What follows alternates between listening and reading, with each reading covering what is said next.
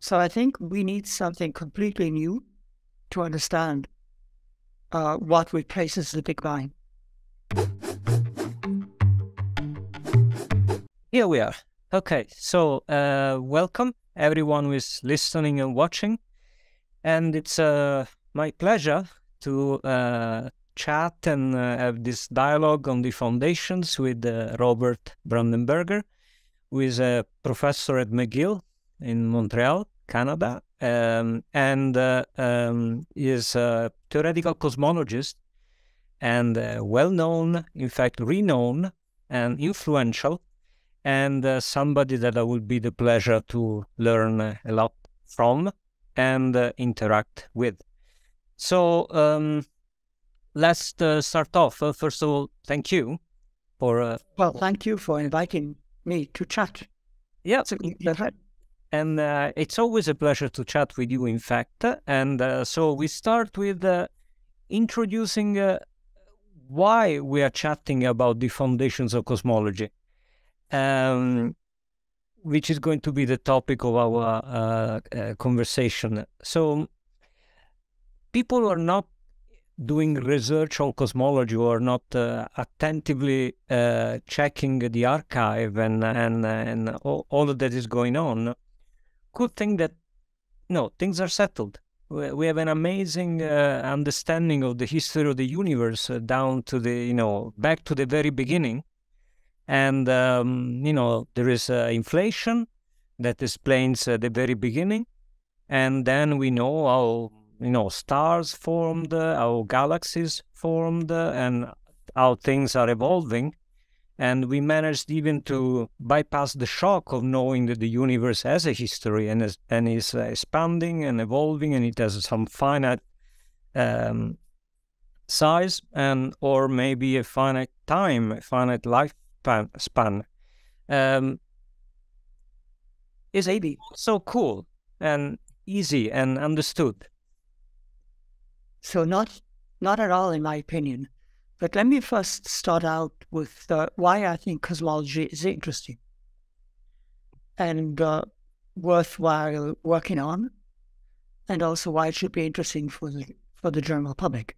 Good idea. So, um, cosmology is sort of a mixture of age-old speculation, namely about what is the origin of the universe. Um, was there a beginning? If if not what was before, what we think was the beginning. So there, there are all these philosophical questions. What is space and time? But then we now have lots of data about the structure of the universe that we observe. And uh, we would like to explain this data. So it's beautiful data. So I think it is this combination of hard data that needs to be explained and deep questions which border on philosophy, maybe theology. Mm-hmm. This, in my opinion, makes the, the subject very, very interesting. It's, it's quite amazing in itself uh, that those big questions about the universe uh, have become uh, somehow scientific, something that uh, are beyond just theology and philosophy. And but let me now turn to your question, actually. Yeah. So um, you set out in a provocative way what is the standard dogma of early universe cosmology. No. What, and what, uh, if you open a modern textbook on astronomy, you will indeed read that the, the universe began with a Big Bang, and that then there was a period of inflation, which means that uh, the size of the universe expands exponentially, like uh, prices of things you buy in the store expand exponentially during the period of inflation. Mm-hmm. So this is a standard paradigm, but uh, it is not at all established. So first of all, let's turn to the Big Bang itself.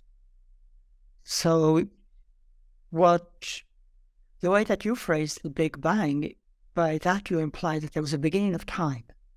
And at the beginning of time, the temperature was infinite and the density of matter was infinite.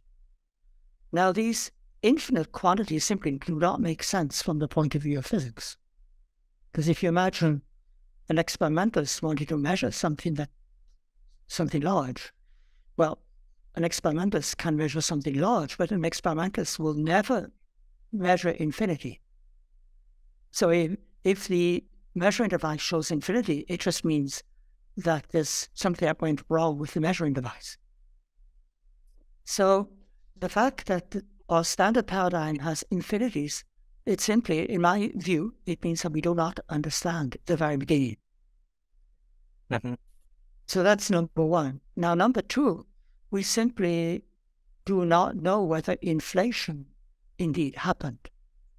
And indeed, inflation was a model that for the quite early universe that was proposed and that solved some of the problems of our previous paradigm, which was just the plain old standard Big Bang theory. But there are alternatives. And in fact, it's proven to be very hard to come up with a theory of inflation as opposed to simply a toy model.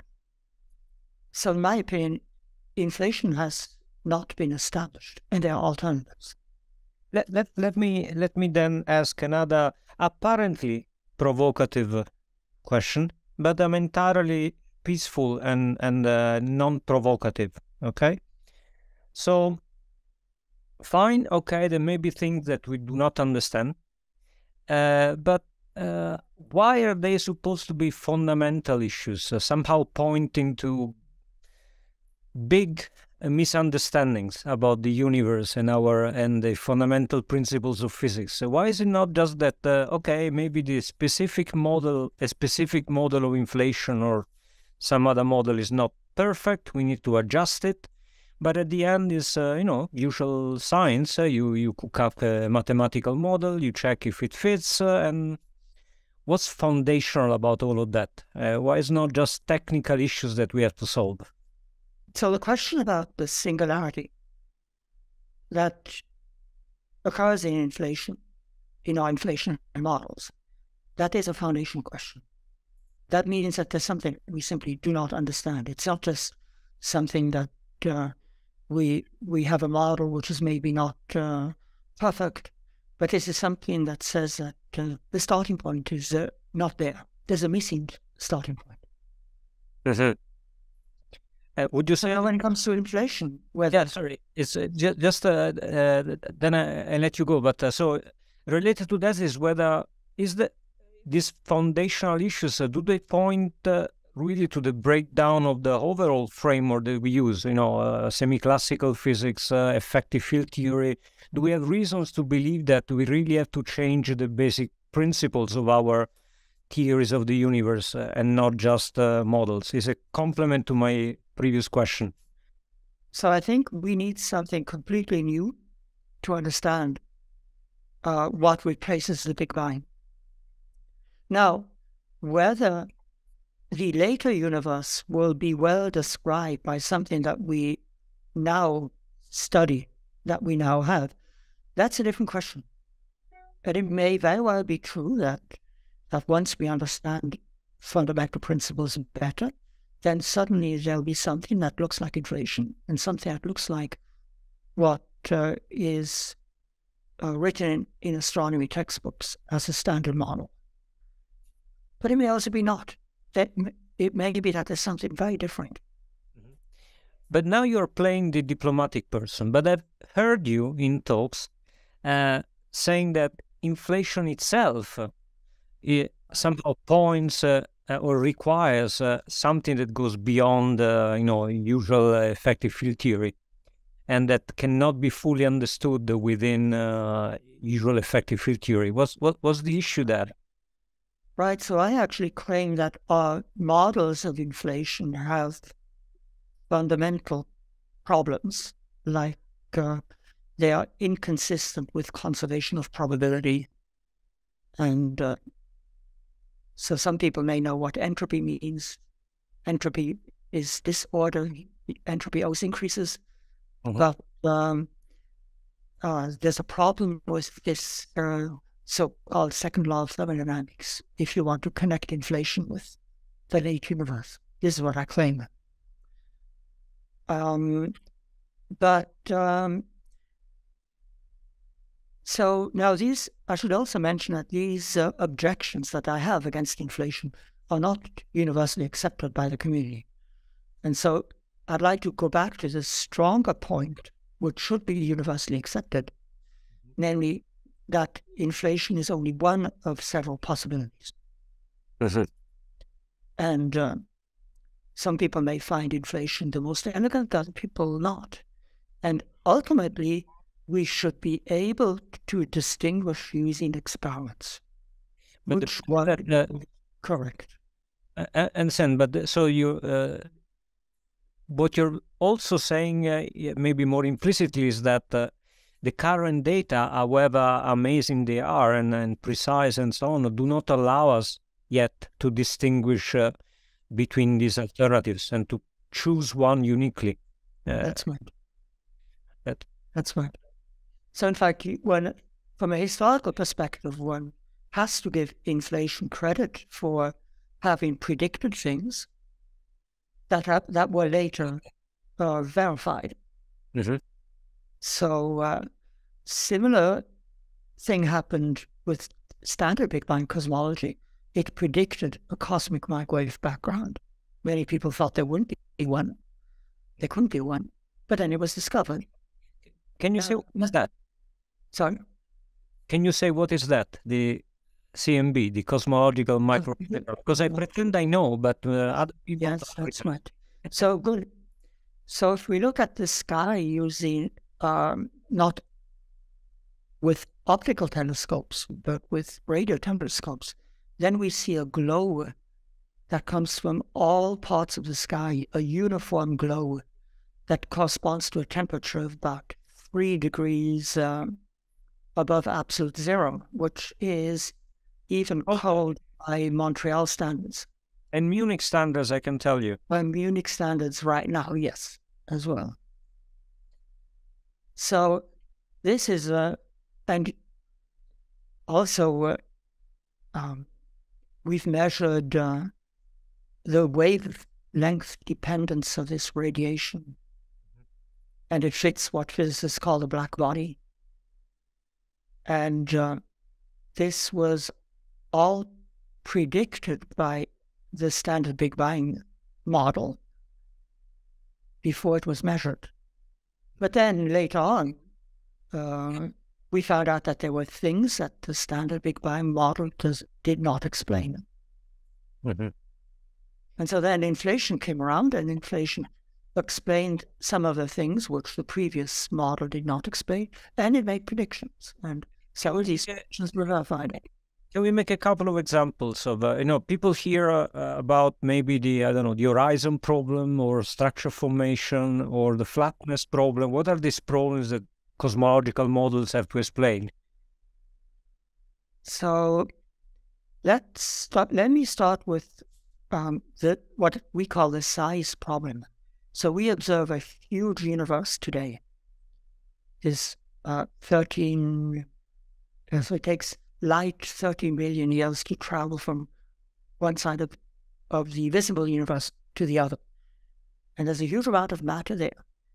But if we want to explain this coming from some small explosion, then this is a huge problem.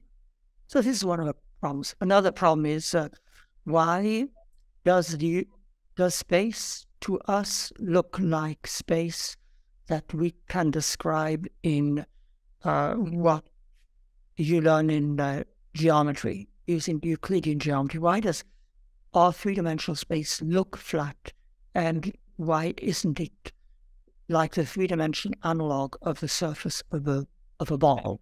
Yeah, if I can, if I can briefly add the point about this, uh, you know, flatness, uh, Euclidean uh, um, description, it's a bit, uh, it's intriguing that uh, you know, for now, now is a problem that things look flat and Euclidean, which means that we really uh, absorb the lesson of general relativity, and and you know that instead was a big shock at the beginning that the universe may not be just flat and can actually be curved and non-Euclidean. and then we describe the universe uh, overall with a non-Euclidean geometry, including time, and then indeed uh, it looks still flat uh, regarding space, and that now is a puzzle. Why is it that among all the possibilities allowed by the theory, uh, we we ended up with a flat space? Right, because if you start, if at the big, after, if at the time of the Big Bang, mm-hmm. the universe is like a little ball, then it could never have grown to be our size. In fact, it would have collapsed mm-hmm. before any life could have developed. Mm-hmm.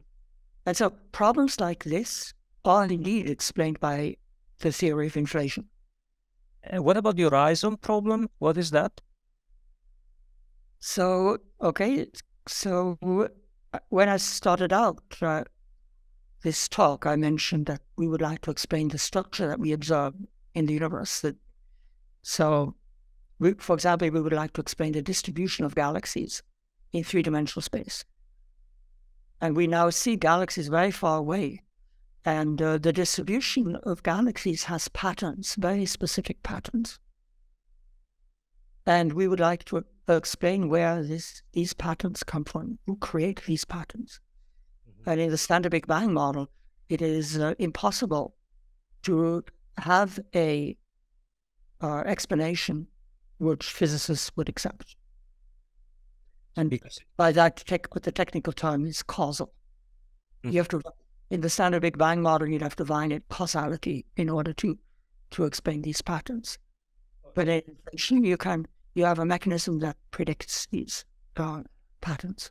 Uh, would that be correct to say that the, the, the, the issue is that uh, these patterns have to do with somehow the, the behavior and the structures of the galaxies uh, to be uh, somehow correlated as if they had been in touch with each other, I mean, communicating with each other, but they, in many cases they are so distant from one another they, they could not have communicated in the in the early universe. That's, that's a that's a way to put it. Okay. Uh, no, just correct me if I'm entirely wrong. I'm not you. That's, that's good. okay, fine. And and and um, we mentioned the the possibility, maybe even the necessity to to that uh, we will need some uh, uh entirely different framework for uh, fundamental physics uh, uh, with respect to the one we use, at least for the early universe, the very early universe. And we mentioned also the uh, singularity issue, the issue with Big Bang and explaining what really goes on uh, at what we call Big Bang. Um, now, here I'm biased uh, because I would say, well, of course, we need a theory of quantum gravity. We need some more fundamental uh, theory unifying uh, quantum mechanics and gravitational uh, physics. Uh, would you agree with that, or is it me be totally biased? How no, I, I agree with that. Okay. I agree with that because we have four forces of nature. Gravity is the fourth. The other three we know we have to describe quantum mechanically. And if we want a unified picture of the whole universe, then all four forces are important and they have to be described on the same footing. So it means, to me, it means that uh, gravity has to be described quantum mechanically. And would you say that this is uh, exactly what is needed to, to understand better the singularity, the what, what goes on at the Big Bang? Uh, that that's that's. No. I hope that this is the case, but I can't vouch for it until we have a convincing uh, theory. You say that just because we are recording, or uh, or uh... no, no, no, no. I um, not. I think one has to be. Um, see, there are also different approaches to quantum gravity. Mm-hmm. And so one of the reasons why I, I guess I'm I'm hedging my bets here is that I don't think any of the models of quantum gravity we now have are really worked out in full detail. Okay. So therefore, it is, I think, a bit premature to say that the singular the singularity problem can be can be solved. But it's definitely one driving hope. But now you see, there are things that we don't understand about our present universe as well. Mm-hmm. So you might even argue that we need a new paradigm to understand the late universe. And I'm now referring to what people call dark energy. So, and again, dark energy is a fancy word, and but this word is as fancy and undefined to physicists as it is to the lay people. Because to quote one uh, cosmologist, the only thing we know about dark energy is that it is there and that we don't know what it is. That we don't know anything about what it is. So anyway, dark energy. If I can add a small joke, I mean, this, which is certainly true, that doesn't mean that we don't have a, a very large set of models of what it could possibly be. So with this, this, the fact that we do not understand at all what it is didn't stop us from producing an immense amount of uh, uh, models, uh, more or less convincing. Maybe less convincing. When it comes to when it comes to dark energy, I would actually say less convincing. See, when it comes to the singularity problem at the beginning of the universe, I think that different approaches to quantized gravity, they have they show promise. They show great promise to be able to solve that problem. Whereas for dark energy, I don't see any such problem realized yet, although I have hopes. I see. And uh, let me voice another uh, uh, point uh, that it is always raised in, in, connection to quantum gravity and cosmology, uh, at least to some quantum gravity uh, approaches and cosmology, which is this other fancy word, the, the multiverse. What's your take on that? do we have to take it seriously as uh, lay people? Is it is there a substance to it, and where does that substance come from? Okay, here I'm quite opinionated. I, I will say no.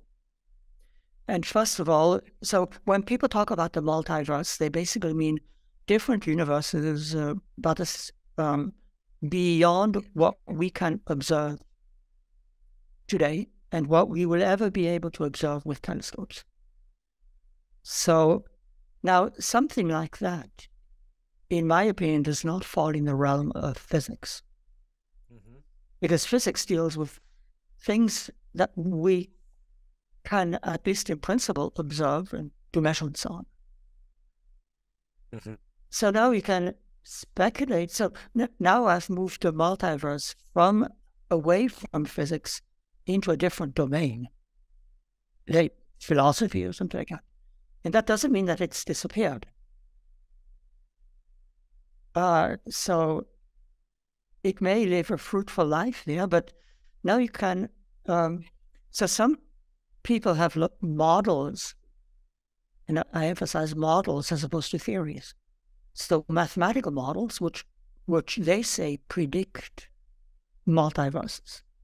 So they predict that in the early universe, um, branches of the universe will form. Only one of them becomes our own. And there will be many parallel uh, universes that we will never be able to explore. But it might be there. Mm-hmm. Okay, so in, in my opinion, there is no, these models are not consistent. So I'd claim that there are no consistent physical models for a multiverse in um, in contradiction with what some other people would say. But in fact, there, there are quite a few such people because uh, the, the, the, the, label multiverse uh, is uh, is, is used, uh, you know, from string theory to discuss, uh, you know, the possible uh, vacua or the possible solutions of of the theory uh, in uh, in cosmology, in the context of inflationary models, uh, and sometimes uh, some people even relate uh, these two a priori distinct uh, notions of multiverse to to the ones coming from many worlds quantum mechanics. And I have to say outright that I'm not convinced at all that there is any relation between these three notions.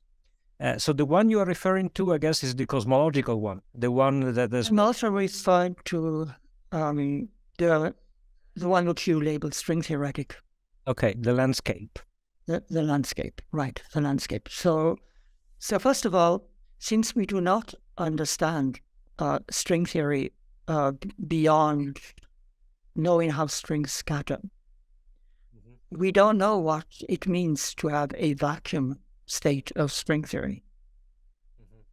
So, therefore, these um, claims about this huge uh, set of ground states of string theory, they are basically uh, this is fantasy in my in my view, is not well motivated.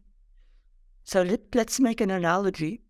Um, let's take a landscape on the surface of the earth. So Bavaria, for example, there, there are many valleys, are many hills and many mountains, and uh, the lands, the countryside looks different depending on which valley you are, which mountain you are. Now, um, these different valleys are not different universes. They are just uh, configurations of one of uh, of the of the local surface of the earth. Mm-hmm. And so, if we live somewhere, we live in a particular valley. So we, we will see the universe in a particular way. So any theory will have different um, ground states. This is, and so there's nothing special about uh, that about the fact that string theory is different might have different ground states. Mm-hmm. And and but this is uh, uh, very different from the notion of multiverse uh, coming from uh, some inflationary models, right? That's right. So now, right, dependent universes. Yep. yep.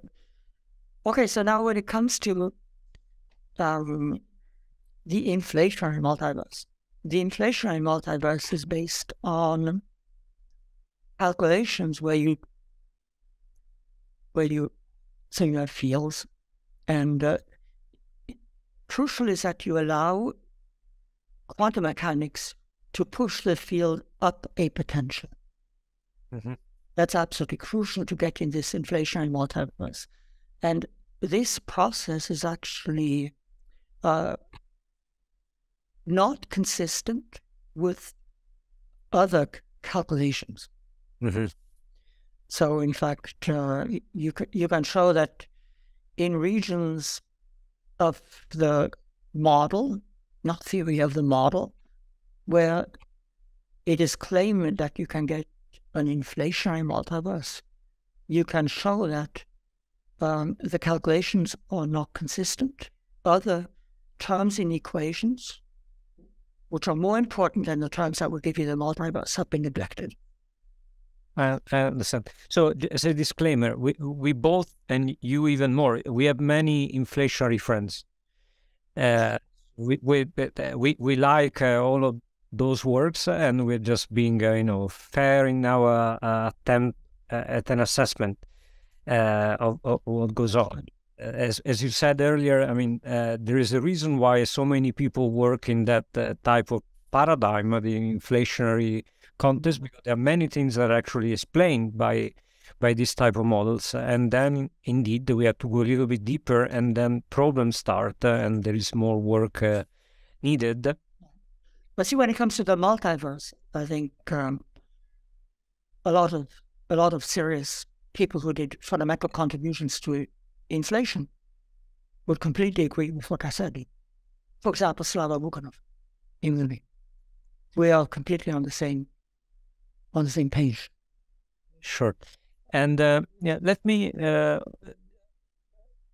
I I know you are opinionated, and, and probably uh, given your previous answer about the multiverse, you're going to be opinionated about this as well, in connection to the multiverse, and, and very often uh, in connection to cosmology more generally. People uh, invoke uh, uh, something called the anthropic principle, and somehow the argument that uh, a new way of answering uh, scientific questions uh, beyond just computing results of a model uh, is needed. Uh, so, uh, can you say in, in, a couple of words what this anthropic principle is and what uh, what what role it could play according to these people, and why I guess you disagree. If you disagree, maybe I misunderstood uh, your your. No, no, I I I was just uh, thinking about how I'll approach it. So um, we talked about dark energy, which is this mysterious component. Um, this could be what physicists call a cosmological constant. And a cosmological constant is um, something that acts like energy of the vacuum, energy density of the vacuum. It is constant in space, constant in time, and it causes the universe to, to grow tremendously rapidly. And in spite of that, the energy density stays constant. So it's strange. You ignore that if you expand, then the density goes down. But for this strange sub thing called vacuum energy, mm-hmm. um, the value stays the same. So now uh, we would like dark energy may be this cosmological constant. And then you you would like to ask uh, why we would like to find an explanation for, for the magnitude, for the observed magnitude of dark energy. So this is something we can measure. And so according to the anthropic principle, uh, any value of this cosmological constant, any value of the density of dark energy is allowed. And it is simply that um, if it were different than what we measure it, then no humans would be present to measure it. So that's sort of the anthrop- anthropic principle. Mm-hmm. This, uh, this now, now, one of the reasons why I'm sorry to interrupt. On, uh, I mean, up on explanation.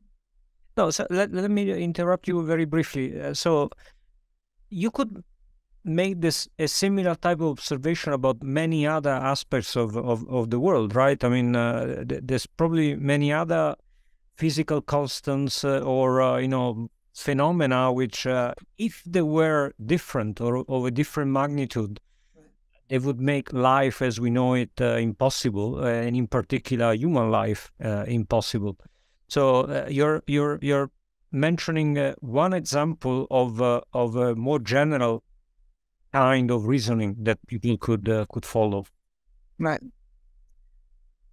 Right. So, so I think this is not a physical explanation. It doesn't mean that the problem is not there.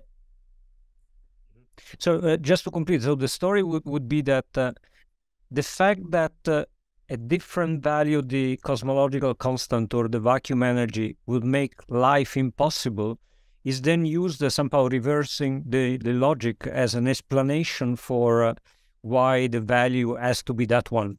Right. All we observe. Right. Okay, understood. This, this I sort of don't, don't accept. Mm-hmm. I see. Okay, for me, there's a, uh, there's a boundary between what physics can explain and all the rest, which you cannot explain. Mm-hmm. And um, I don't know where this boundary is. And we, it's, it is a nice uh, challenge to try to push to see if we can explain more things that we with physics than we thought previously. And it maybe turns out that they this cosmological constant we cannot explain using physics. This is a possibility. But um, I actually am hopeful that there will be an explanation in this sense. I understand. Let, let me um, change a little bit the context, uh, but in fact, uh, I think it will be, become clear in a second, is very much related to this possible limitation of our explanatory powers and our you know understanding.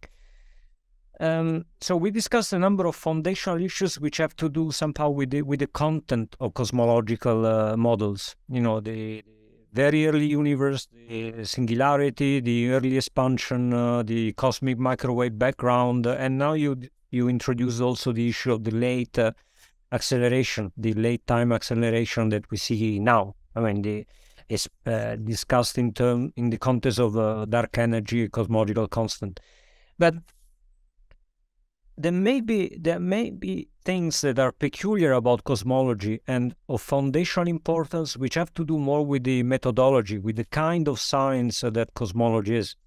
At least I've seen this uh, debated uh, many, many times. I mean, uh, let me put it in the simplest possible manner. Uh, it's true we have a lot of data now uh, from cosmology, the CMB spectrum, uh, all sorts of uh, you know the supernovae, the the, the uh, observations of galaxies and galaxy clusters and their dynamics and and all of that. But isn't it the case that this set of data is still extremely small, limited, compared to what would be needed to really somehow guide us in a, in a, in a strong way towards uh, our, you know, uh, theory construction? I mean, to, to, is it aren't we facing a strong uh, so-called underdetermination of theory by data? And this would somehow explain why there are so so many models, uh, uh, and uh, this it's unclear what could stop this proliferation of of models for good or bad. would you agree that cosmology is severely underdetermined by by data? Well, historically, it was underdetermined. So cosmology was basically theoretical speculation mm-hmm. until the microwave background was discovered. And uh, then it was underdetermined when the problems of the standard Big Bang model were first being discussed. That's when inflation was, uh, the theory of inflation was proposed and its predictions were worked out. Now, actually, we really have um, a lot of observations. And we have things which I think are um, not yet explained. Mm-hmm. At the moment, I think we are transiting away from this underdetermination. But but so you wouldn't agree uh, that it's a peculiar science. You would say it's a you know it's science uh, like the rest of physics. I mean it's uh, uh it's w- wouldn't you say that there's something peculiar about the universe as a physical system? I tell you what I have in mind. Uh, that there is just one of it. Uh, that, that there's no possibility of doing experiments in the usual sense, in which we control all the uh, know, uh, we can isolate our system and control everything that uh, uh, concern that system, and then we can do a measurement, and then we can do it again, and then we can do it again, and then we do usual statistical uh, analysis. Uh, somehow, uh, th- first of all, there's just one universe. so whatever we want to say about a universe is about coming from our models, is a statement about a single object, a single physical system, is not the same as you know when we study electrons in in an accelerator uh, or uh, you know some condensed matter system in the lab. Uh, so that that that that's that's one. And then uh, the fact that indeed uh, we we only have observations rather than experiments. Uh, I would find that also peculiar. And finally, somehow the fact that we observe, say, the microwave background, meaning we measure some photons uh, that uh, arrive to us with a certain wavelength. Uh, if we were to look again in the same direction, strictly speaking, is different photons arriving to us. This is also quite peculiar. We we cannot really repeat the the same observation uh, again. Uh, I don't think I, I don't think I agree with some of the things you said here. Okay, I don't agree with the last because if you're doing a, a tabletop experiment or an accelerator experiment, then you are, every time you do the experiment, you, you, you, you have different particles, like the different photons that you mentioned. Mm-hmm. So now, the one difference is that um, we we don't live long enough to do experiments over a long time scale compared to the life of the universe. You never know. We, we never know, but for now, for now, we, we, for now we, for now we don't. So, so there's a practical dif- difference there, and I think the main difference is that we are not we are internal to this to the universe. we are not the to the um, experimental hall, and that is a, that there there's a difference. So it's more a matter of a different perspective that uh, forces us to do things a little bit differently, uh, rather than uh, the universe being, as such, a, a peculiar physical system.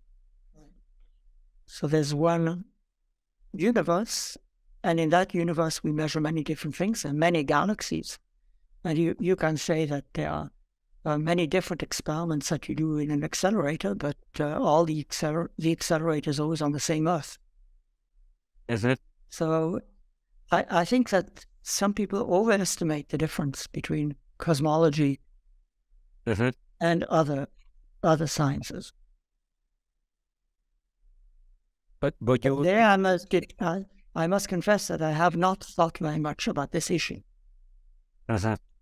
And uh, what about this other thing that uh, is mentioned in connection to what I said, which is uh, the so-called cosmic variance? What, what what was that? Now I really don't know. It's uh, I'm not even pretending. So, so you see, we have one universe, and if we if we look, for example, at the difference between the north and the south hemisphere, we only have celestial uh, hemisphere. We only have one measurement of that. Now, some of the theories are based on uh, quantum processes where you compute probabilities of things that happen. And so in, in such a theory, you'll have a you'll be able to calculate a probability that the difference between the northern and the celestial hemisphere and the southern celestial hemisphere is such and such. But you and cosmic variance that basically means that um, the theory predicts a distribution and we only have one measurement in, in the example I gave. Mm-hmm. So, but this is uh, indeed related to the to the challenge I was mentioning earlier that uh, we uh, uh, we are dealing with a sing- single instance of, of, of of the experiment and uh, the system. We cannot repeat it, strictly speaking, or having an ensemble of universe to do usual statistical analysis. And so we have to think even in statistical terms differently than in when dealing with an ensemble of identical systems. Right, but if you if you look now at the, the scales of galaxies, then the difference is it has uh, is no longer important. So, okay, so you you you managed to sleep at night uh, despite uh, the cosmic variance. Yes, definitely. That's very good. let me uh, let me mention to conclude the the, the last point. Uh, uh, I, I said uh, to to people who were asking me about this uh, initiative of the dialogues and uh, with with experts from different areas of fundamental physics and, and philosophy and foundations of physics that one purpose is to is to somehow clarify to to people who listen how science works uh, by by just you know showing uh, in in the open our doubts and and uh, you know the way we think, uh, the challenges we face when we when we do science.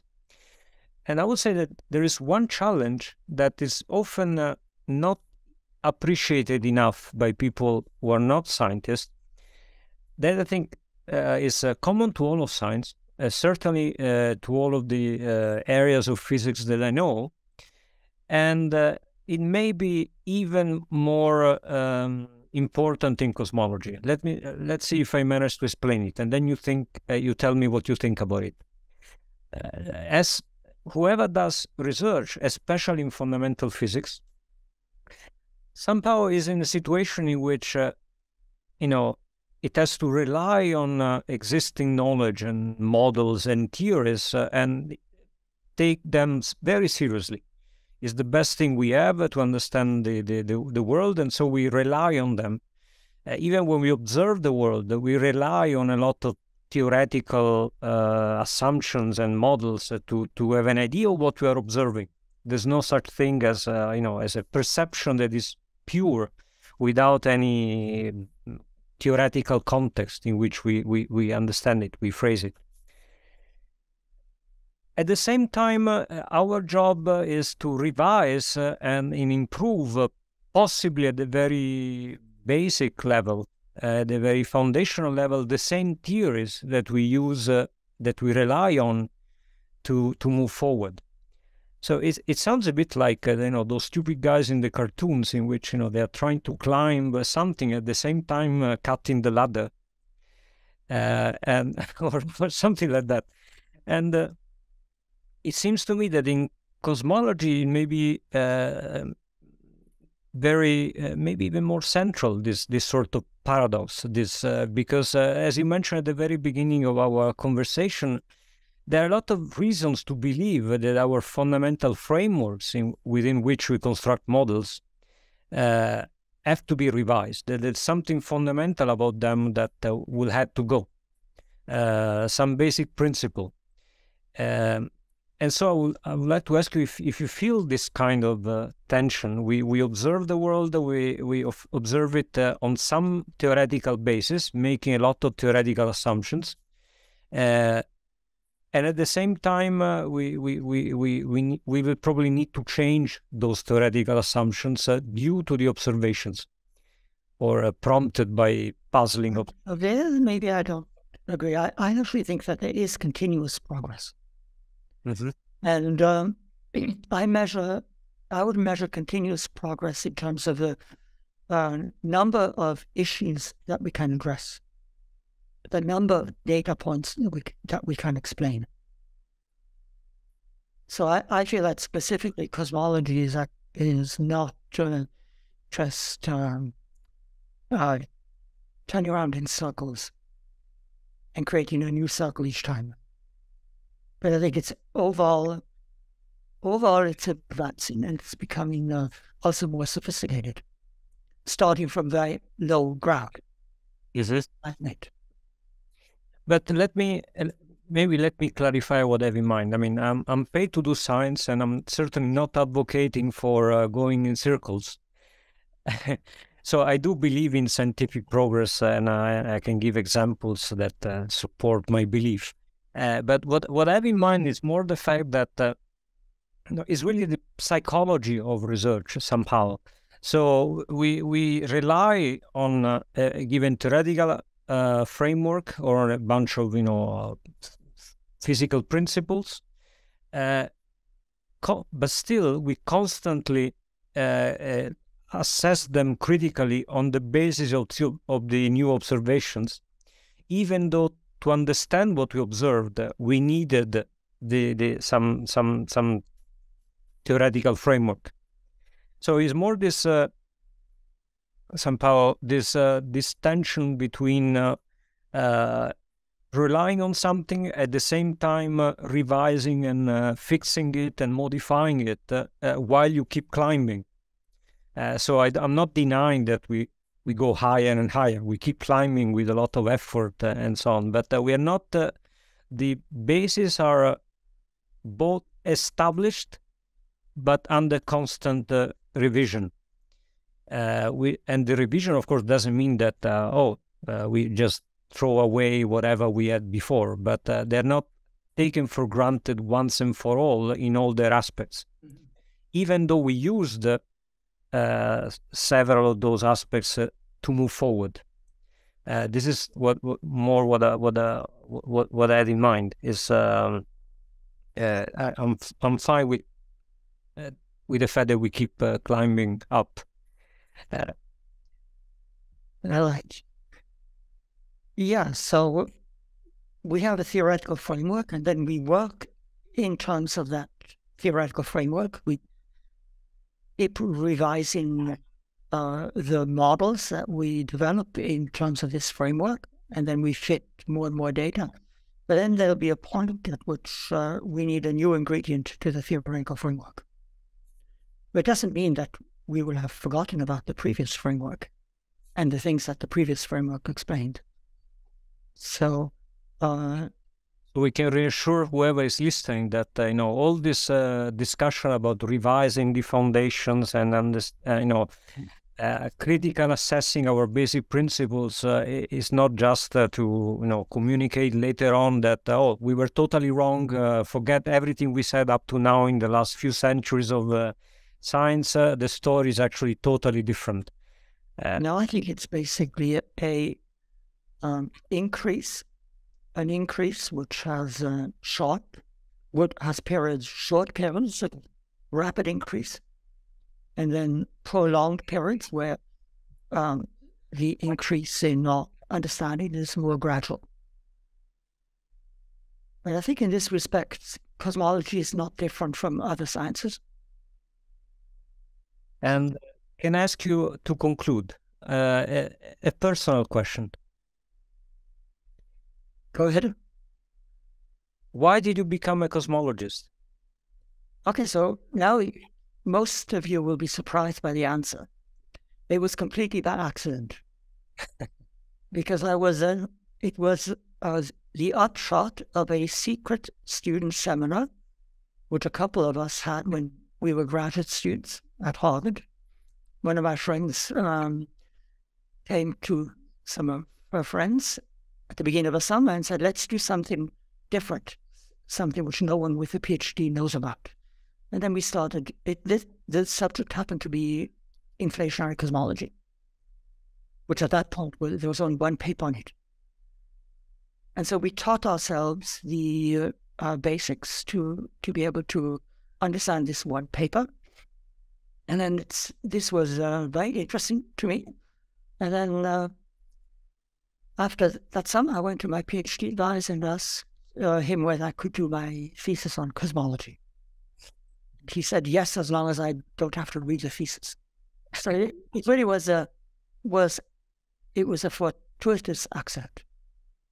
Very good. So can we can we conclude with the message that you know uh, we, we advise people to just uh, read uh, beyond what uh, they are they're used to and uh, and uh, you know remain curious about whatever new comes up from science, whatever is the corner, because it may become their life Yeah. very, very, very true. I completely agree. Very good. So, uh, thank you, Robert. Thank, thank you so much. I hope you enjoyed the conversation, even half of how much I enjoyed it.